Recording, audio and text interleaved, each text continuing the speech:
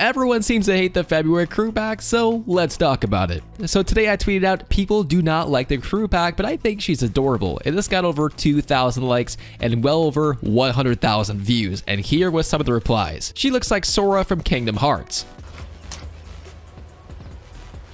Wait a minute. Who are you? Okay, uh, yeah, I'll give you that one. So as I told you guys, over 2,000 people liked the tweet, and here were some of the opinions that were kind of good, but also kind of bad.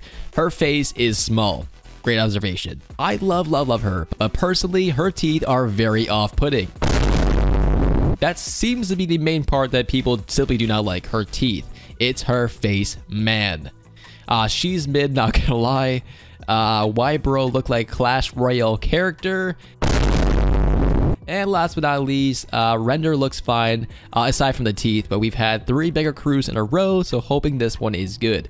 Honestly, yeah, I understand her teeth look a little bit strange, kind of like buck teeth looking. I don't know, man, like alien-like, but overall, I think she's pretty fantastic, and I still would cop her. Now, according to one of my followers named Malik, he said, we finally got two sisters, uh, are twins in Fortnite. So that doesn't really make sense, but essentially speaking, he was saying uh, these two people are essentially twins, which they very well could be. Uh, one's in the Battle Pass, and one is coming out next month for the crew pack itself. And I must say, they look exactly alike to a certain extent. I wouldn't say twins, but very, very close. The big eyes, the overall look of them, and I guess the overall like animation style does look very similar. So I kind of wonder if we'll be seeing something similar to that uh, as we progress into the season. And of course, as we also know for a fact that the next month after that one in March, which by the way is my birthday time, apparently we're also going to be seeing someone that is very identical to this as well. And I think I figured that out, but we'll save that for next video. So make sure you guys subscribe now. Little plug right there. Now, in other news, of course, there would not be a Power video without an I Talk Fortnite opinion. So he also said,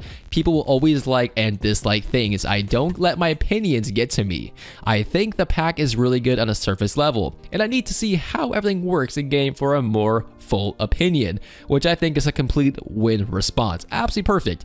Uh, yeah, a lot of the time, these skins look amazing in artwork, but inside the game, they're kind of lacking whether it be the animation style, the emotes, the, how the skin carries herself or himself. Overall, it could be good or bad. So I definitely agree with that. I guess we'll simply wait and see if people are, what they're saying is correct. You know, the teeth being messed up and all that crazy stuff. But honestly speaking, I think the teeth are completely fine. Last but not least, uh, Kid LAROI just came out, and some content creators are actually receiving an Xbox Series X that is themed for Kid LAROI, which I am completely jealous of. Uh, Epic Games and Looney, if you're watching this, I would like one. Do you know anyone that actually got this? And if so, make sure you guys tell them Happy Power wants one as well.